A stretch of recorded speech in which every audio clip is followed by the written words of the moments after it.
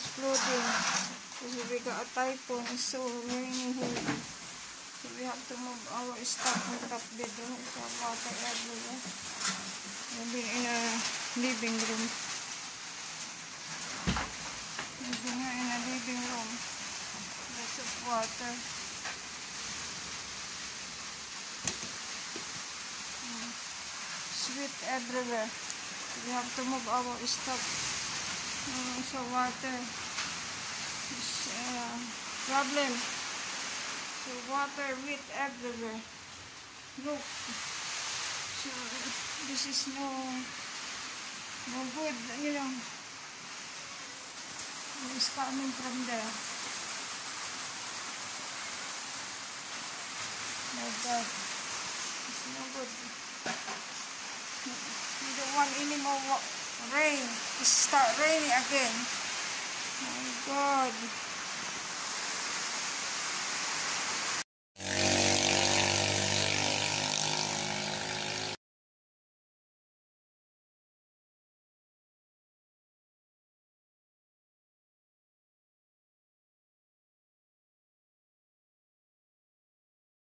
Kung ano, linisin ito, hindi ko kaya talaga. Masakit yung operation ko. So, nilagyan ko siya ng ano, ng pampalinis sa ano, sa tiles. Kailangan, ano, yung kuskusin na basta mo na brown na yung ano, tiles. Para na itong ano, bundok o bahay.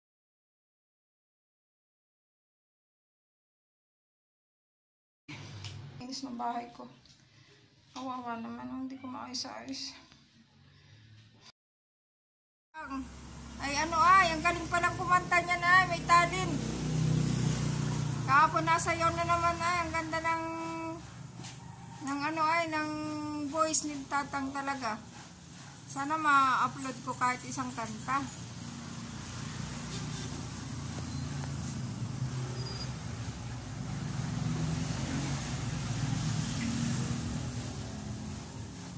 Maganda ang panahon ngayon. Sana naman ay hindi masyadong mainit. Ah, pag sobrang init sa ano ay nakakasama din ang pakaramdam sa pakaramdam amin.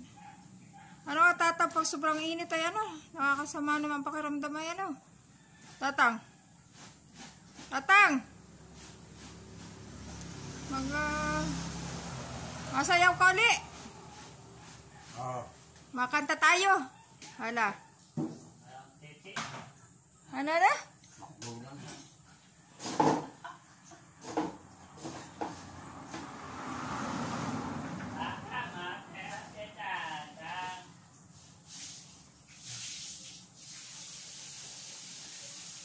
Tawa tatang yung bibi, oh. May...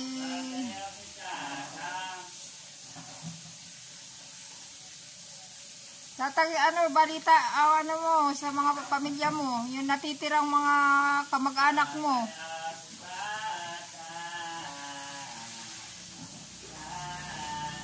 Tatang, anong bilin mo sa kanila? Puntahan ka dito o tayong pupunta sa kanila? Ako na lang pumunta ko. Kaya sa... Relationship. Dahil Yung mga pamilya mo, nasa Masbate. Bakit ibang lugar naman ang tinuturo mo? Yan, ano si Tatang A.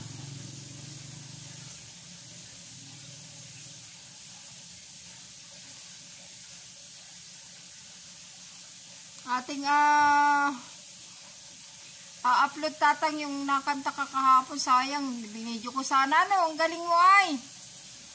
May time na ako, eh, ano, walang space sa storage. Sayang. Ay, hindi naman pwede ako makapag-record ng video kay tata habang nasa na, siya nasayaw nakanta. Kasi isa lang ang gamit kong ano video. Itong cellphone ko lang. Ay, tatang. Sayang talaga. Dabis yung sayaw mo rin kahapon. Nasa mood si tatang. Nasa, ang ganda ng ano. Ng ano yung timpla ng ano araw ni tatang kahapon.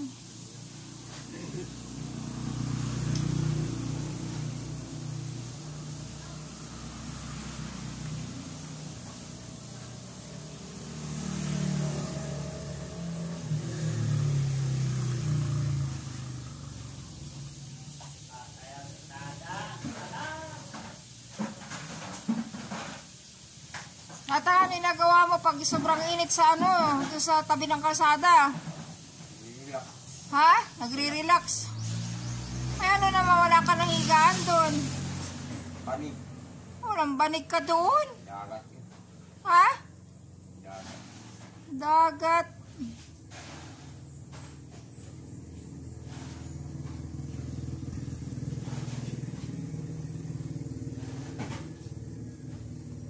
Tatang, ah, hanapin natin yung family mo. Tumingin ka dito.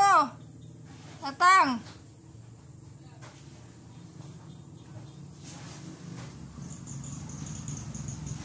Tatang, tumingin ka dito at ano ay, manawagan ka sa anong pamilya mo. Hindi ka na may nahanap ay, para naman silang ano ay, walang,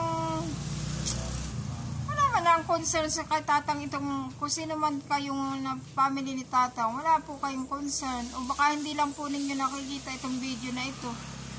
At si tatang po medyo matagal-tagalin naman na din dito. Ay oras naman ninyo na ako'y kontakin naman po ninyo at ako'y nag, na gaalala lang sa kay tatang kasi tagal na ni, niya sa lansangan tapos siya po'y namumulot na lang ng mga upos. Hindi niyo ba naisip na ano ay baka po ito'y may anak. Pinabayaan na lang ninyo yung anak niyo sa ayun tatay niyo pala sa lansangan. Kung wala si tatay niyo, wala din kayo dito sa mundo. Tandaan ninyo yan magpasalamat pa rin kayo kasi meron kayong magulang na katulad ni Tatang. So, kunin na ninyo si Tatang sa visit lang ninyo ako. Siya po'y ano ay may oras na makwento, may oras na nakatunganga, yung parang tulala. Kasi hindi ko naman po siya talagang kilalang lubusan. Yun po'y pinatuloy lang namin siya dito si tatay po ay tatay, tatay nyo, may oras na nagasalita mag-isa, may oras na naka, nagatawa mag-isa. So, hindi ko po alam kung anong pinagdaanan niya sa buhay niya. Kaya po ako'y nakikiusap po sino man po may kakilala kay tatay, tatang ay ano, pwede naman ninyo po ako i-message sa dito sa dito sa YouTube ano namin, channel ng inay. So, andito lang po, mag-visit lang kayo. Mag-comment lang kayo na kayo'y pamilya niya. Kung kakilala niyo si Tataw, ayan. Siya po'y maganda ang boses, ang galing pong, may talent po si Tatang, may tinatago pala yung talent, kahit gayan yan. Yan ay dati po yan ay dugyot. Ang haba ng buhok. Tamo malinis na ang kanyang mukha. Oh. Tamo, linis na po. Ito po yung ni Tatang. Baka po kilala niyo. Hmm. Ayan.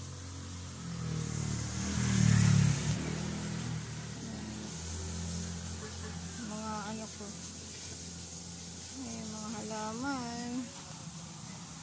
Si ano eh. Maganda po mag ano, mga tanim-tanim ng mga ano, halaman. Kaya lang hindi po ako talaga buhayan. Yan ang hirap po magbuhay dito ng mga tanim kasi sobrang init.